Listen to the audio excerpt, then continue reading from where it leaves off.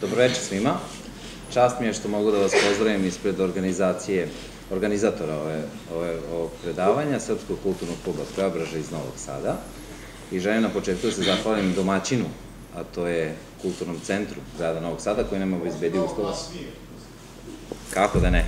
Imamo mi ovde, ja mislim, izvučenje. Mislim da radimo. Dakle, čast mi još jedan put da vas pozdravim ispred organizatora ovog predavanja, a to je Srpski kulturni klub Preobražaj iz Novog Sada. Takođe želim da se zahvalim domaćinu ovog predavanja, to je Kulturni centar grada Novog Sada, koji nam obezbedi uslove da održimo ovo predavanje. Srpski kulturni klub Preobražaj postoji od 2007. godine. Mi smo održavali nekoliko tribina u Novom Sadu i širom Srbije. Gosti su nam bili Matija Bečković, Vladeta Jerotić, Čedomir Antić, Slobodan Antonić, Vladika Porfirije, Vasilije Krestić i druga zvučna imena. I cilj našeg delovanja jeste razvoj dijaloga i kulture dijaloga u našem društvu, kao i pokušaj izgradnje srpskog kulturnog obrazca, onako kako ga je Slobodan Jovanović video pre drugog svetskog rata. Ne znam da li je to zaudan pokušaj, ali eto mi se i dalje trudimo da kroz razgovore sa elitom u našem društvu pokušamo da dođemo do ideje srpskog kulturnog obrazca, a i da pokrenemo sva značajna društvena pitanja bez dnevne politike. E, današnja tema ove tribine jeste koliko smo normalni posle svega. Odgovor na to pitanje će pokušati da nam daju naši gosti, dva novosadska psihoterapeuta, gospodin Vladan Beara i gospodin Aleksandar Šibol. Sama tema koliko smo normalni posle svega već krije jednu pretpostavku, a to je da smo normalni, pa ma šta to značilo. E, posle svega, znate da smo prošli razno razne traume, raspad vrednostnog sistema, sankcije, ratovi u okruženju, inflacije, pa mnogi kažu tranzicija, liberalizacija, globalizacija i ostale cije su nam došle glave. E, prosto smo upali u društvo koje je anomično, mimo sistema vrednosti, Eh, vi to najbolje znate i po sebi s obzirom da eh, je pad standarda učinio svoje, da znate kako živite, da se život kod nas sveo na golu egzistenciju, a kada čoveku život svedete na golu egzistenciju, tu nema ni govora o, o kulturi. Te ja ne bih dalje govorio kakva je situacija u društvu, to imate prilike da o tome razmišljate i pratite svaki dan. Ja ću dati reč prvom govorniku, gospodinu Vladaninu Bearu, a potom gospodinu Šibulu. I e, koncipirali smo ovu tribinu tako što ćemo i vama dati priliku da postavite pitanje našim gostima na ovu temu koliko smo normalni posle svega. Hvala. Dobro večer svima. E sad, pošto smo uvršteni nas dvojice u elitu, sad moramo ovaj, da opravdamo ovaj, taj status. Ajde da probamo. Dakle, ja sam Vladan Beara, psiholog i psihoterapeut, neki me ovde znaju, neki me ne znaju, ovaj, bavim se psihoterapijom već 18 godina, više od 10 godina sam radio sa ratnim veteranima, e, ratnim vojnim invalidima, žrtvama ratova, sretali smo se i sa veteranima s druge strane, tako da imali smo, stvarno rekao bih, bogato iskustvo u radu s ljudima koji su propatili na ovim prostorima. Kada smo se dogovarali o temi za, za ovu tribinu, nekako došli smo do neke teme koja nam se čini potpuno prirodna, a to je ajde da vidimo ovaj, šta se sve dešava s nama, gde smo mi to, da napravimo nekakav presek, koliko smo normalni posle svega, da li smo normalni posle, posle svega i na neki način koliko je normalno biti ovakav kakvi smo posle svega. E, Šta znači biti normalan? Kao prvo ni to nije lako odgovoriti. Postoje različiti koncepti normalnosti. Jedan je ovaj standardni medicinski, to je normalno ono što nije bolesno. Pitanje da li baš tako. E, drugi je koncept statistički, a to je normalno je ono što je prosek, ali ako taj usvojimo ovaj, standard, onda mnogi kreativni, inteligentni, nadprosečno inteligentni prosto nisu normalni. E, socijalna neka adaptiranost, poželjnost je takođe jedan kriterijum, a to je svi oni koji su super, dobro, socijalno adaptirani, oni su normalni. Po toj logici svi oni koji idu na cecin koncert, koji idu po splavovima, koji nose pocepane farmerke, oni su normalni, a mi koji to ne radimo, mi nismo normalni. I najzad postoji jedan teorijski idealni koncept gde su normalni oni koji su postavili genitalni karakter po Freudu, što opet daleko da od istine redki su koji su to postigli, ja bih rekao. Prema tome, šta je normalno, vrlo diskutabilno, ja bi to otvorio, ne bi, ne bi zatvorio. Ali drugo pitanje, koliko smo mi normalni posle svega. U psihologiji postoji jedan koncept uh, koji je meni draga, to je koncept psihičke krize. Šta to znači? Po tom konceptu ima više teoretičara koji ga zastupaju. Po tom konceptu zapravo osnovna ideja je da mi kao ljudi smo na neki način u nekoj vrsti dinamičke ravnoteže, balansa sa okruženjem u kojem se nalazimo. I ukoliko se to okruženje se uvek pomalo menja, ali mi nekako imamo već razrađene mehanizme, obrazce ponašanja s kojim na neki način funkcionišemo. U nekoj ravnoteži smo sa svojim okruženjem.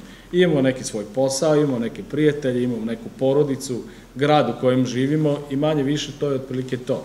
Imate mesta na koje izlazite, imate svoju kafanu, imate svog berbera, imate svog mesara, imate svoje babe na pijaci koje vam prodaju paradajs, papriku, s kojima se ispričate i na neki način imate neku vrstu sredine u kojoj ste dobro uklopljeni. Ali onda se desi da se sredina promeni, da se desi promena u realitetu i onda, naravno, prva reakcija koju čovjek pokušava da uradi, to je da jednostavno se prilagodi tome, a zapravo da se prilagodi sa starim obrazcima ponašanja. Neka to uspeva, ali često ne uspeva. I onda dolazi zapravo do krize. Kada ne uspemo da se prilagodimo na promenu, u periodu krize mi moramo u stvari da tragamo za novim obrazcima ponašanja koji će nam omogućiti da se uklopimo u, to u tu novu sredinu. Šta to konkretno znači? Ako se desi promena, ako se desi izbeglištvo, ako vas neko protera sa mesta vašeg obitavanja ili življenja, jednostavno vi dođete u jednu potpuno novu sredinu, zapravo vi sada morate da se naviknete, morate se naviknete na sve. Nema mreže prijatelja, ne poznajete ljude, ne poznajete grad, drugačije govorite, drugačije izgledate, imate drugačije navike, e, vi, ne znam, imate naviku da ostavljate u hodniku cipele ispred ovaj, ulaznih vrata, a neko će doći da vas ismejava zato što to radite, jer se to ovde ne radi. I tako dalje, i tako dalje, i tako dalje. Dakle, kada se realitet značajnije promeni, mi smo onda na neki način E, u obavezi da pronađemo nove oblike ponašanja, da, da na neki način se uklopimo, da prihvatimo promenu realiteta, da razumemo promenu realiteta, da vidimo gde su tu naši vrednostni okviri, gde je naš referentni sistem i na neki način da izgradimo mrežu prijatelja, poznanika, poznatih mesta i tako dalje. E sada, a ja bih sad malo da skrenem u pracu nekog istorijskog konteksta, iako ja nisam istoričar i zaista nisam ekspert za istoriju, ali probat ću vrlo grubo nekako da, da skiciram 20. vek i početak 21. veka, jer to je zapravo realnost kroz koju mi živimo, kroz koju odrastamo, kroz koju su naši roditelji odrastali, živeli, njihovi roditelji i tako dalje. Početak 20. veka za nas ovde počinje, rekao bih, ubistvom kralja Aleksandra Obrenovića, I na neki način, bez obzira da li to bilo opravdano ili nije, e, to jeste jedna značajna promena, gde jedna druga dimenzija, druga dinastija dolazi na vlast, gde se politika spoljno menja, okrenutost ka Austriji, odjednom sad se okreće ka Francuskoj, okreće se ka, ka Rusiji, dakle, menja se spoljna politika, što šta se menja u društvu i ljudi pokušavaju na neki način da se prilagode. Zatim dolaze Balkanski ratovi, prvi Balkanski rat, drugi Balkanski rat, I odmah zatim se dešava atentet u Sarajevu i takozvani veliki rat. Mi ga danas zovemo prvi svetski rat. Veliki rat, prvi svetski rat je bila jedna ogromna klanica gde su narodi išli bukvalno na klanje. Ako ste gledali recimo film Galipolje ili slične filmove, jasno se vidi kako je to bila klanica na zapadu, ništa novo i slično. I to nije bila samo klanica, to je bio jedan, rekao bih, rat u kojem su se, e, u kojem se srušio stari svet Srušile su se monarhije, nestala je Austro-Ugarska u kojoj su ljudi ovde živeli, nestala je Pruska onako kako je bila, nestala je carska Rusija, nestale su mnoge, mnoge zemlje koje su na neki način držale neku vrstu stabilnosti u Evropi i promenio se svet.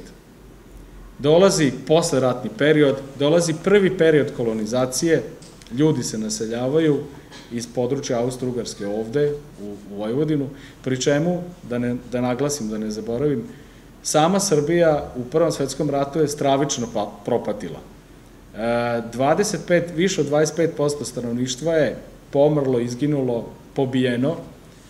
E, Austro-Ugarski e, kazneni korpusi su bili vrlo surovi, ubili su mnogo ljudi, bolest je harala, E, zašto je to bitno? Zato što to nije samo promena realiteta, to uključuje i traumatizovanost, uključuje i gubitke, gubitke bližnjih. I odjednom dolazi nova država u kojoj sada, koja je zapravo, mogu reći, jedan psihološki eksperiment, gde različite kulture, različiti narodi, različiti pogledi na svet, različite religije pokušavaju na neki način da žive zajedno.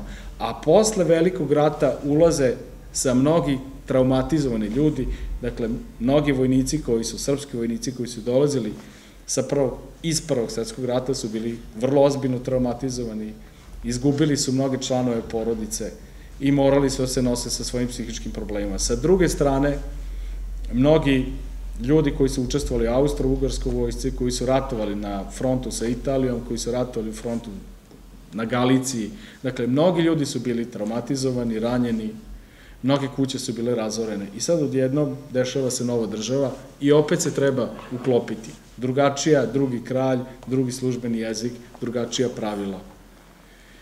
I u tom periodu počinje period velikih modernističkih ideja, počinje komunistička ideja da raste vrlo ozbiljno, Sovjetski savez, revolucija, u ljudima se budi na neki način nada da neke stvari mogu da se promene, novi sistem vrednosti, utilitaristička moralnost, pogled na svet.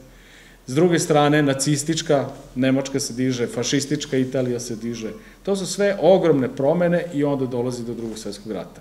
Drugi svetski rat koji je, ja bih rekao, bar za srpski narod bio više nego koban, gde se dešava, s jedne strane u Prvom svetskom ratu imate 50% populacije Srbije ajde da kažem, poprično nastradalo, više od 50% muškaraca je ovaj, pomrlo u drugom svetskom ratu, 25% populacije, zemlja razorena i sad odjednom u ostatku, u delu koje, koje je tadašnji NDH,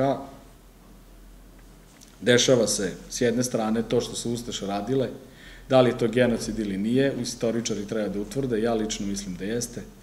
I ovaj, Jugoslavija je rasparčana, I dok se dešavaju te strahote, dok se dešavaju logori, dok se dešavaju jame, dok se dešavaju masovna klanja, u isto vreme se dešava građanski rat između partizana i četnika, što je potpuni ovako raspad sistema, da kažem.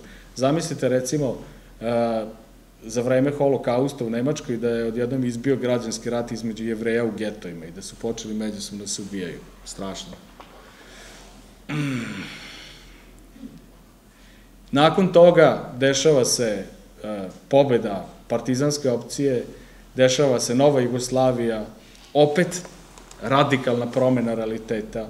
Odjednom dešavaju se dešavaju se stravične promene, dešava se proterivanje švapskog, nemačkog stanovništva odavde, dešavaju se masovna streljanja bogatih, svih onih koji su na neki način bili osumnjičeni za izdaju, za rad, saradnju sa okupatorom, često nije bilo ni dokazivano, velike brojke su pitanje, to su stvari koje tek treba da se otkriju, e, ljudima je oduzimana imovina, e, ovde seljacima po Bačkoj su čupani brkovi, otimana im je hrana, e, mnogi ljudi su teško propatili nakon toga, opet se dešava kolonizacija, gde sada dolazi stanovištvo iz bivše NDH, dolaze ličani, dolaze koordinaši, krajišnici, ljudi koji su najstrašnije i najtemeljnije traumatizovane ljudi koji su se posveđali s Bogom, koji nisu mogli Bogu da oproste zato što ih je ostavio Ustašama na klanje. Dakle, to je jedan ozbiljan psihološki traumatski obrazac gde ljudi ne mogu da veruju da je Bog tako nešto mogo da dopusti, onda ga se odreknu, postao na ekstremni komunisti. Najekstremniji komunisti u to vreme su dolazili uglavnom iz tih ličko-kordunaških, ovaj, ajde kažemo, ovaj, delova zemlje, ne samo oni, ali bilo i Crnogoraca i Hercegovaca, ali oni su baš bili traumatizovani. I sad opet imate velike sobe i imate proterivanje Nemaca, imate streljanja nad nekim mađarskim stanovništvom. samo se produbljuju patnje, samo se produbljuju traume, odjednom 48. dolazi goli otok, jedni komunisti se okreću protiv drugih, hapse, muče ih tamo, zlostavljaju, zemlja pokušava da se razvije, Jugoslavija u to vreme postaje pritajni član NATO pakta, okreće se protiv Sovjetskog saveza.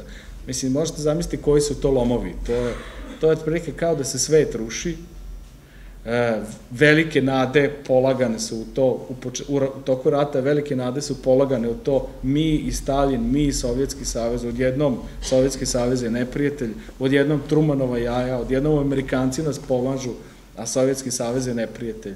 Socijalizam pokušava se razvije, onda se odjednom uvodi socijalističko samoupravljanje, e, odjednom svi su sretni, ne morate mnogo da radite, ali nemate slobodu govora, morate da pazite šta govorite, možete da izgubite posao, možete da izgubite stan, možete da završite u zatvoru, kao što su mnogi intelektualci završili.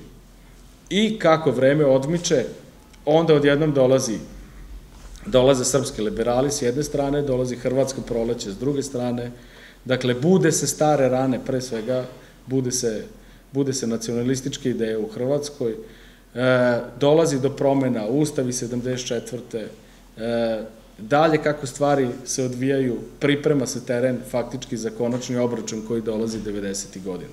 Pojavljuje se Milošević, opet se bude stare rane, bude se stare nacionalističke, rekao bi, i priče, odjednom ta Jugoslavija koja je jedva na neki način opstajala, koja je opstajala na zapravo čvrstini tog nekog narativa, neke priče o tome šta se nama desilo u drugom svetskom ratu, odjednom sada počinje da se urušava, ljudi odlaze prvo tamo kao vojnici sa idejom da brane SFRJ, pa onda odjednom ispada da oni ne brane SFRJ, odjednom oni pomažu srpski narod u Hrvatskoj, pomažu srpsku stranu u Bosni.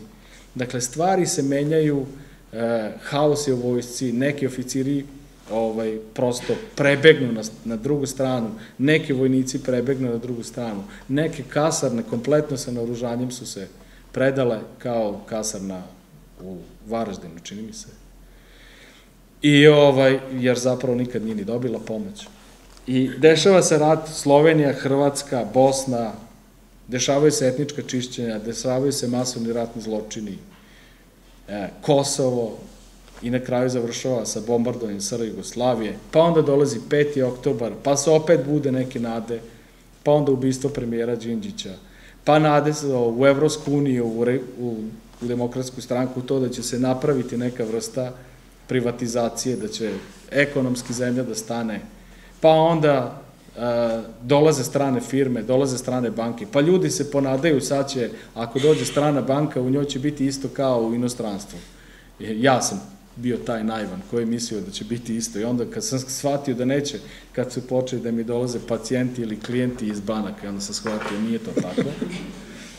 Ovaj, tako da zapravo E, ono što se nama izdešavalo, dakle, realnost je stalno menjala, mnogi od nas su bili traumatizovani, mnoge porodice su izgubile jako puno svojih članova, mnogi ljudi su ostali bez ruku, bez nogu, e, mnogi ideali su pali u vodu, e, sa, sa padom Berlinskog zida mislim da je definitivno pala ovaj, taj ideal o Sovjetskom savezu, o nekoj komunističkoj trećoj internacionali ili ne znam ja šta, mnogi od nas koji su se nadali da demokratizacija će uvesti neke druge vrednosti, da će, da će jednostavno taj neki kapitalizam imati možda više ljudsko ovaj, obličje, smo se razočarali što Igor Mandić rekao, hrvatski književni kritičar, kaže, mi smo naivno verovali da će stanje biti mnogo bolje kada jednostavno padne komunizam, ispostavilo se da stanje je u nekim tačkama bolje, ali u mnogim tačkama i nije.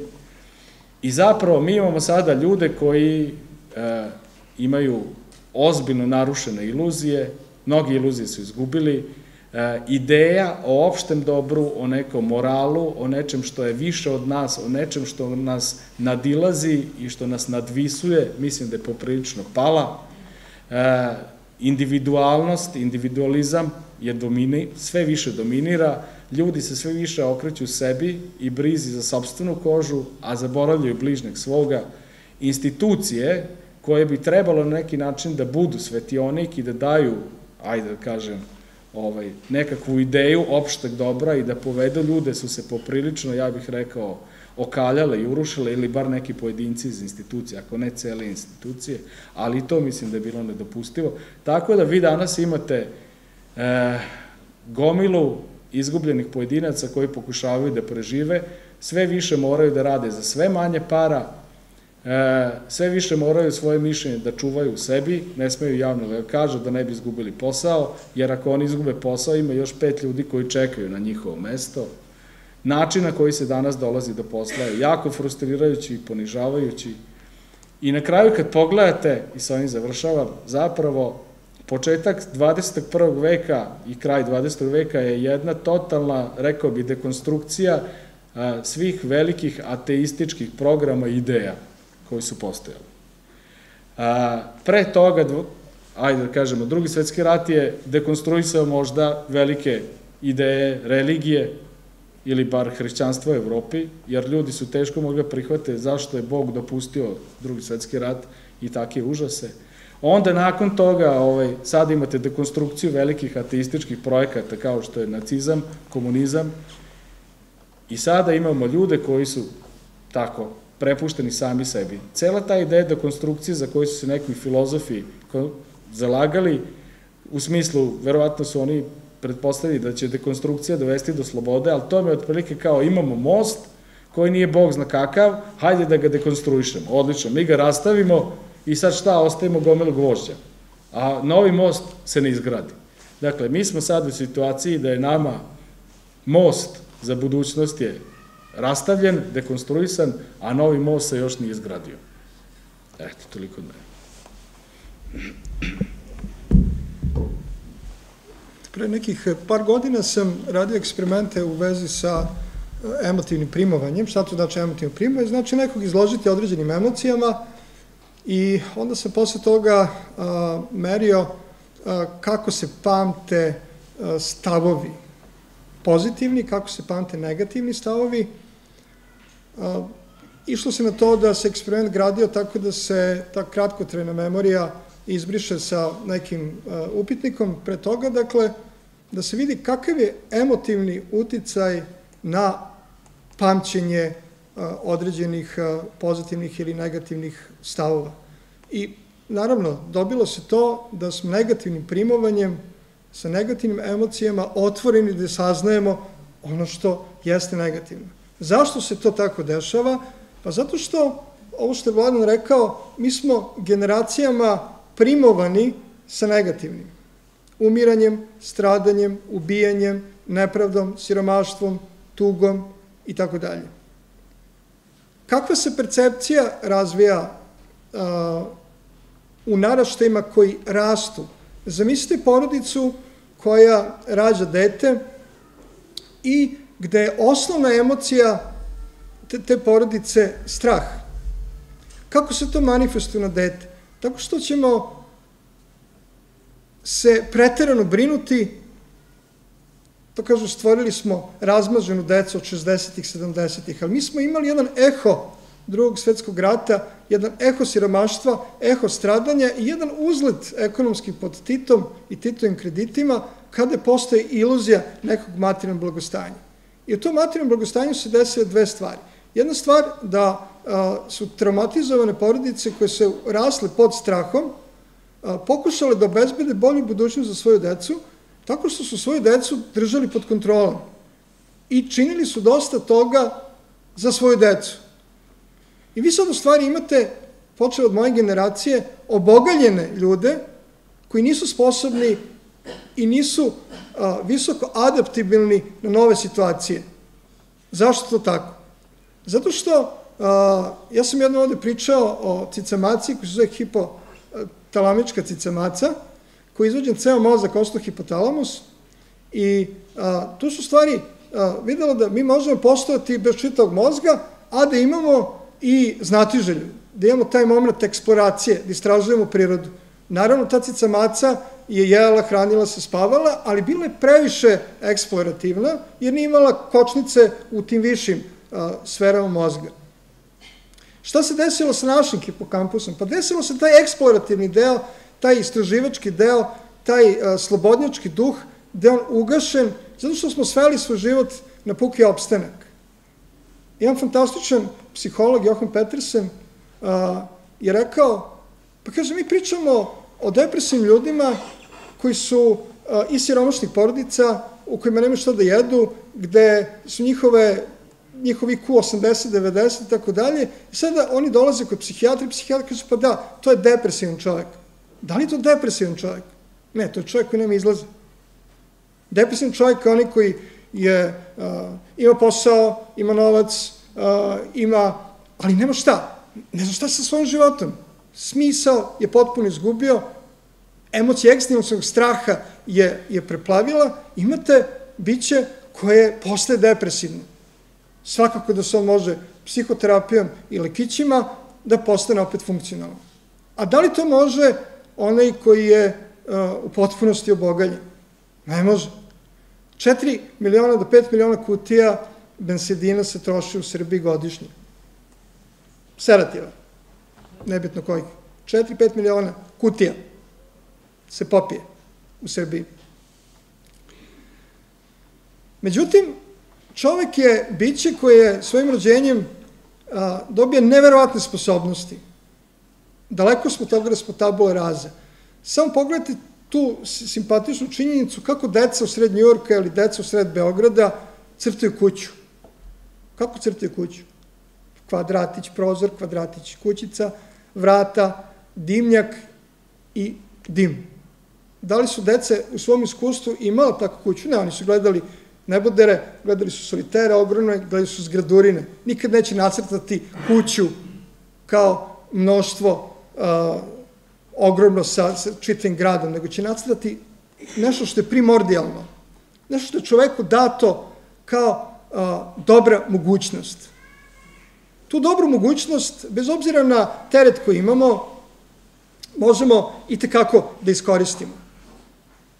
Teret nosimo veliki, breme je ogromno nad svima nama, pre svega što pola naše nacije nepismeno, neobrazovano, nesposobno da sagleda stvarnost na jedan zdrav način, a ostali, ostala polovina nacije uspavana.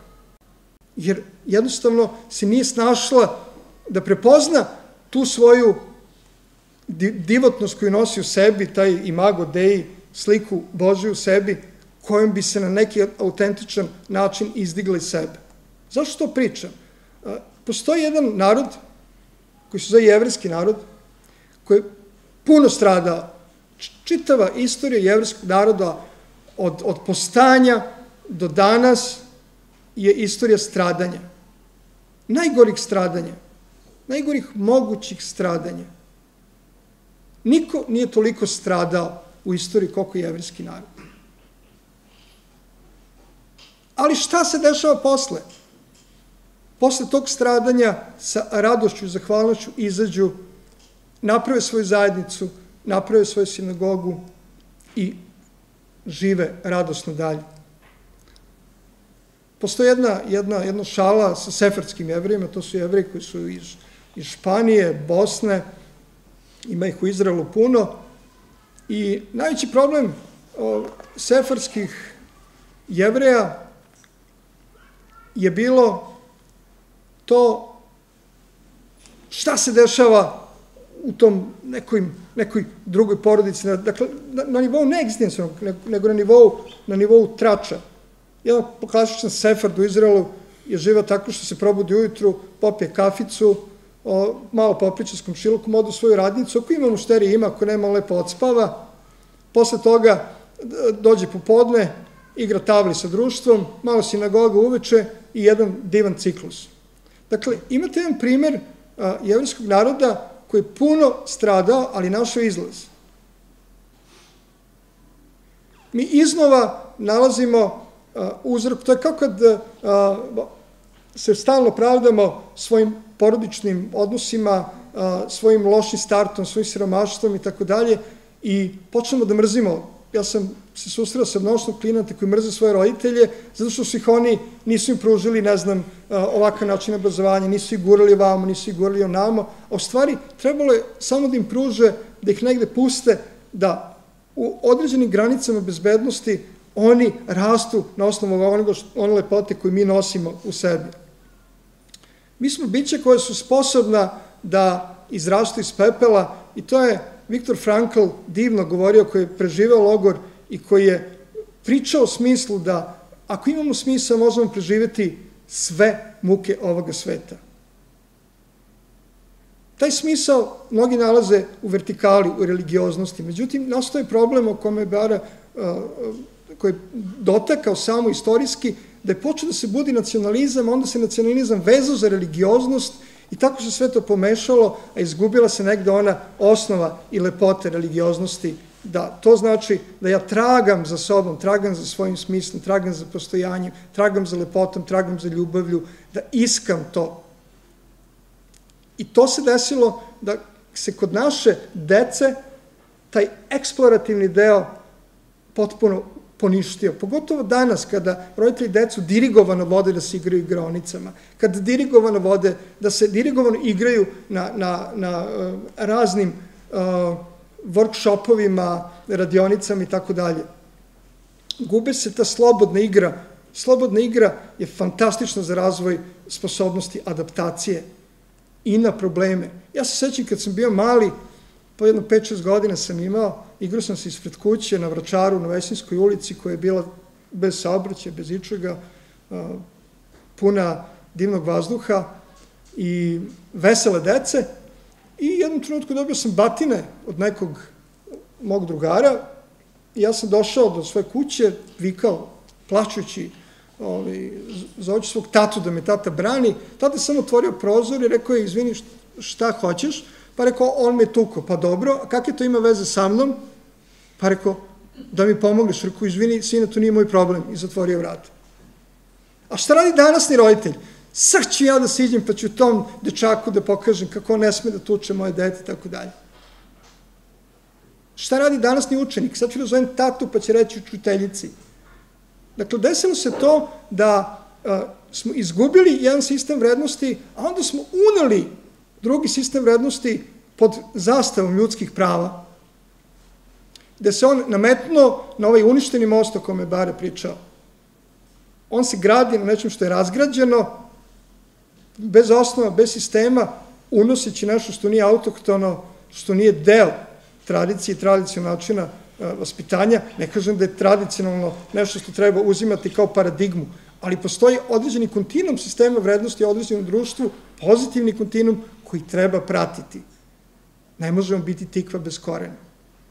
Dakle, postoji načini da se a, izdignemo bez obzira na problem, bez obzira na, na traumu. Ja sam iz porodice gde su svi pobijeni, je moja majka jedina preživela, svi su u logoru završili. Ja sam rastao kao jedno radosno dete.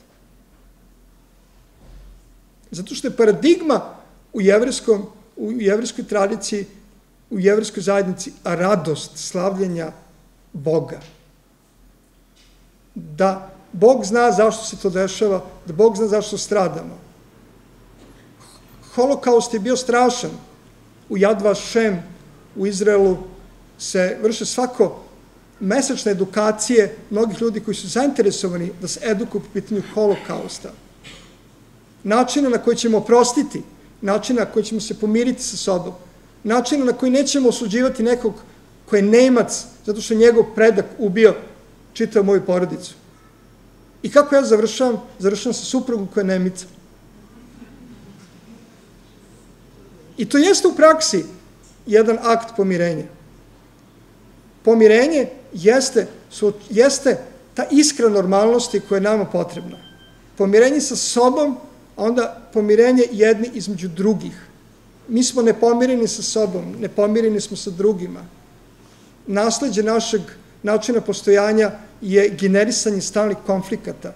Mi živimo u zamrznutim konfliktima koji su višeslojni, vrlo kompleksni od ratnih konflikata koji se nisu rešavali posle drugog svetskog rata, kada se sve zatrpavalo zastavom, bratstvom, distom, želelo da se popuni, pa sve do savremenih konflikata koji se uvek stavljaju po tepih, gde se u porodicama ti konflikti ne rešavaju, nego se oni sakrivaju, njima se ne govori, da komšija ne čuje, ne želimo da tražimo pomoć, oni koji zatraže pomoć, zatraže nekada kada je kasno, već kada se desi nekakva posledica ili tragedija u porodici.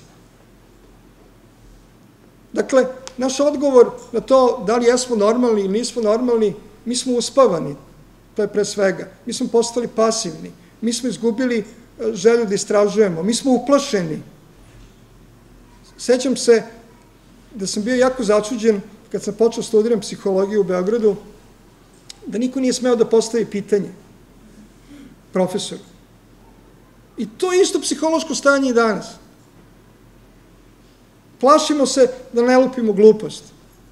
O stvari, kroz taj način mi učimo. Učimo. Sećam se kad sam razgovarao sa jednim čovekom koji je na jednom visokom položaju u Americi,